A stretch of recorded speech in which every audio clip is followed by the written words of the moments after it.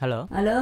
அம்மா நல்லா இருக்கியாப்பா இருக்கம்மா. நீ எப்படி இருக்க? நான் நல்லா இருக்கிறேன் நீ வேலைக்கு சேர்ந்து ஒரு மாசம் ஆயிடுச்சு. இந்த மாசம் சம்பளம் பார்த்து கொஞ்சம் அனுப்பிவிடுப்பா. ஒரு ஐநூறு ஆயிரமா கொஞ்சம் அதிகமா கேட்டு பாருப்பா அடுத்த மாசத்துல இருந்து கொஞ்சம் கழிச்சுக்க சொல்லு. சரிம்மா. நான் கேட்டு பார்க்குறேம்மா நான் பார்த்துக்கிறேம்மா வீட்டுல இருக்கிற கஷ்டம் உனக்கு தெரியும்ல? ஆ தெரியும்மா. கஷ்டமா இருக்கு. கொஞ்சம் காசு சேர்க்கணும். சரி கேட்டு பார்க்குறேன் வைக்கிறேன்பா. வச்சுட்டுமா? சரி உடம்ப பாத்துக்கப்பா. வச்சிடம்மா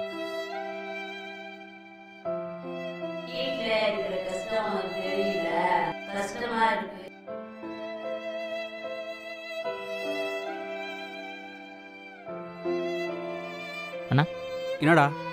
சம்பளம் மூவாயிரம் தான் போட்டிருக்காங்க. ஒரு ஐநூறு இல்லை ஆயிரம் ஏற்றி தர முடியுமா? நீ வேலைக்கு சேர்ந்தே ஒரு மாதம் தான் ஆச்சு. அதுக்குள்ளே மூவாயிரத்து ரூபா சம்பளம் எப்படி கொடுக்க முடியும்? அது இல்லைண்ணா. ம் கொடுக்குறத வாங்கிட்டு போடா. கொஞ்சம் ட்ரை பண்ணுங்கண்ணா. வேலை ஒழுங்கா சரியா இல்லையோ? சம்பளம் மட்டும் ஒழுங்கா வேணும். போய் வேலையை பாரு.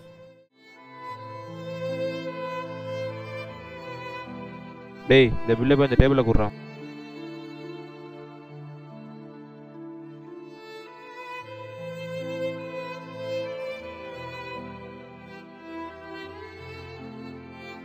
வாழ்க்கையின் ஏற்றத்தாழ்வை பாருங்க.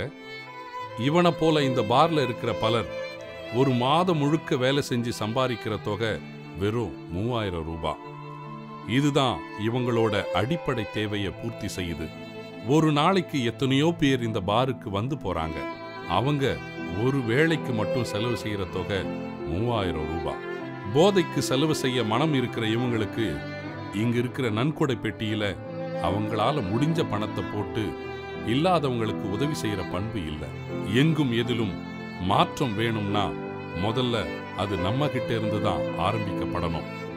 ஏதோ இவனால முடிஞ்ச நன்கொடை.